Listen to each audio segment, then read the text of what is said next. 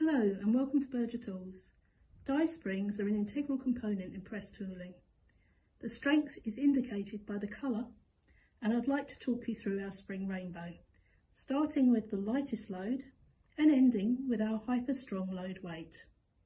We have the full ISO 10243 range, which are these four springs, and these are supplemented with additional sizes to find the perfect strength for your needs. Remember, rectangular wire die springs have a cross section greater than that of round wire springs, giving a larger mass and resulting in greater force. No spring should be employed at its maximum length of travel, as this will considerably reduce its service life.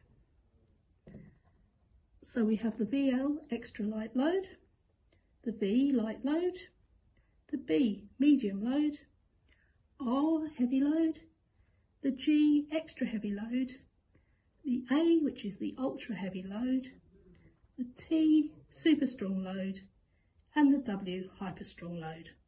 I hope that this helps. Thank you.